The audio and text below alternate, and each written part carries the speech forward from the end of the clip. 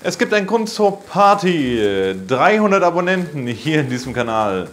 Danke, ihr seid wunderbare Menschen. Wir sind 300. Wahrscheinlich können wir jetzt das System und den Staat stürzen. Ähm, genau, ja, was habe ich gelernt ähm, in dieser Zeit, in der ich jetzt diese 300 Abonnenten gesammelt habe, mit äh, gerade einmal 70 Videos. Hm. Äh, naja, angefangen habe ich ja eigentlich mit einer Serie, mit Willkommen zu Hause. Die hat eigentlich kaum jemand gesehen. Folge 1 hat jetzt irgendwie so um die dreieinhalbtausend Klicks. Ähm, die anderen, naja, eher weniger. Also Probleme mit Webauswertungen oder Webserienauswertungen bei YouTube, die sind mir jetzt inzwischen auch bekannt. Aber auch damit habe ich noch Pläne. Das Ganze wird nochmal so eine kleine Runde nehmen. Ähm, ansonsten habe ich diesen Channel eigentlich mal gemacht, um über das Filme machen, über Filme, über meinen Werdegang als äh, Regisseur bzw. als Nach Nachwuchsregisseur äh, zu sprechen und ja, andere äh, daran teilhaben zu lassen, die sich vielleicht auf einem ähnlichen Weg befinden. Interessanterweise ist es so, dass allerdings abgesehen von meinen Videos, die ich zum Bewerbungsprozess an der HFF gemacht habe, ähm, die anderen Videos ähm, kaum jemanden interessieren.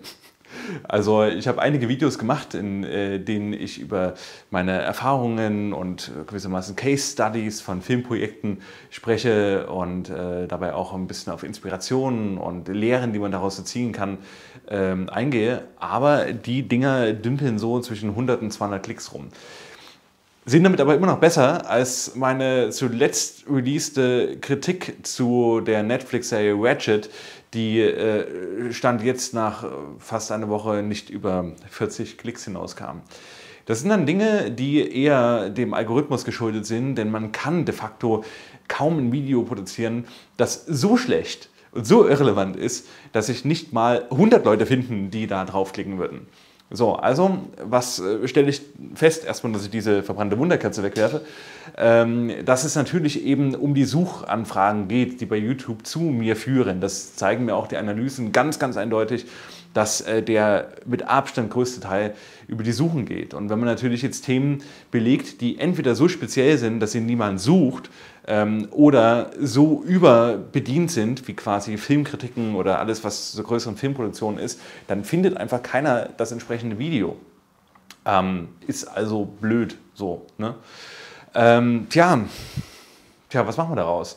Ähm, einen Erfolg hatte ich auf jeden Fall, das Video über Lisa Eckert. Nun ja, das hat bisher gefreut.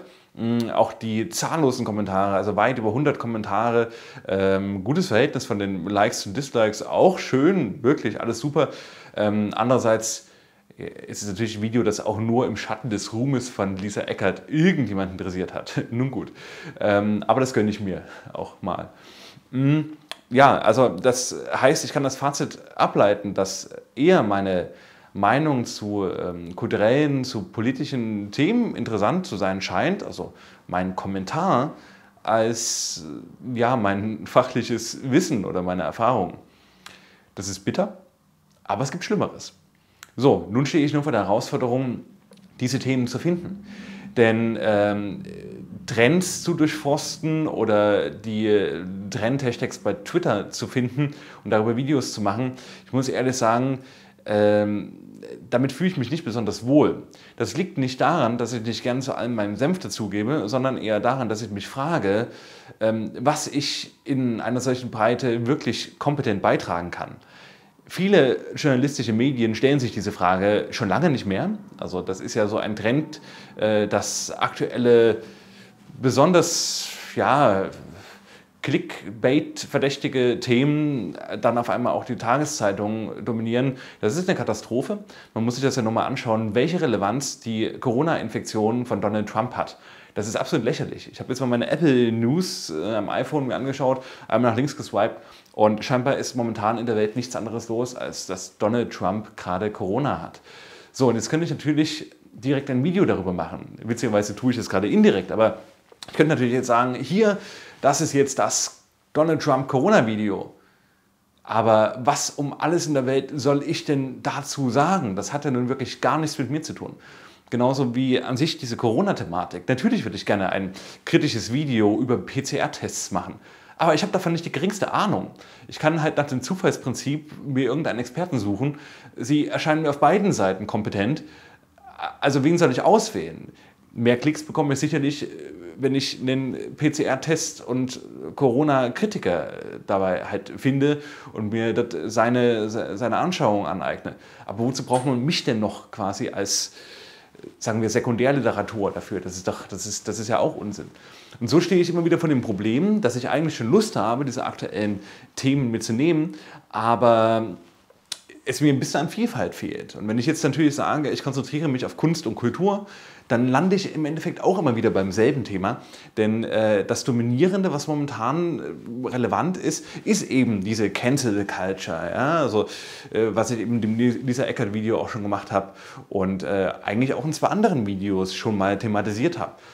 Aber Cancel Culture YouTuber zu werden, ist ja auch eine Rolle. Also dafür will ja auch niemand geboren sein. Ja? Das ist halt also Unsinn. Ähm, von daher stehe ich jetzt so ein bisschen an so einem Punkt, ich will nicht sagen am Scheideweg, ich werde wahrscheinlich einfach so weitermachen wie bisher. Denn der Kanal wächst, der wächst nicht so schnell, wie ich es gerne hätte, aber es ist authentisch. Das sind meine Themen, das sind meine Meinungen. Und die sollen hier einen Platz haben. Und hier und da erreichen sie ja Leute. Ähm, wenn ihr jetzt allerdings für mich, so ihr als diese kleine Community von diesen 300 wertvollen Menschen, die da draußen existiert, ähm, wenn ihr euch Themen wünscht oder das Gefühl habt, ich wäre der Richtige, um über irgendetwas zu sprechen, dann schreibt es mir doch gerne in die Kommentare. Darüber würde ich mich wahnsinnig freuen. Wenn ihr neu dabei seid und wodurch auch immer ihr vom Algorithmus zu mir geführt wird, dieses Video als erstes seht, dann lasst doch bitte ein Abo da.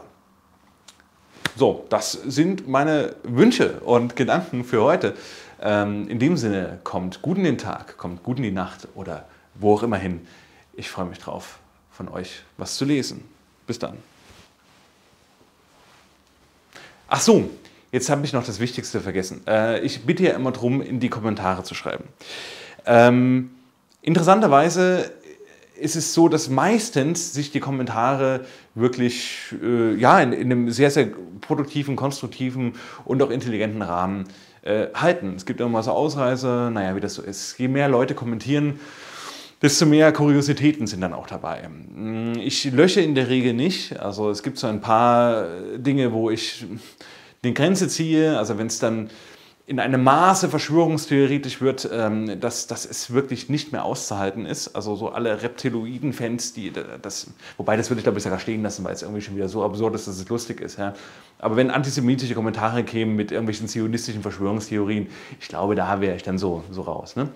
Ähm, Nichtsdestotrotz habe ich überlegt, inwiefern antworte ich auf Kommentare. Ich habe gemerkt, das macht für mich total Sinn, wenn es Fragen gibt, zum Beispiel nicht erst zu antworten, sondern direkt ein Video darüber zu machen, das äh, ist eine schöne Sache.